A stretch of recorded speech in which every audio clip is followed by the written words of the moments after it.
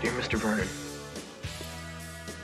we accept the fact that we had to sacrifice a whole Saturday in detention for whatever it was we did wrong. But we think you're crazy to make us write an essay telling you who we think we are. And you see us as you want to see us. In the simplest terms, the most convenient definitions.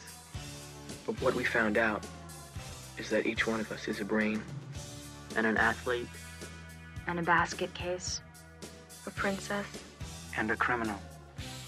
Does that answer your question? Sincerely yours, The Breakfast Club. Don't, don't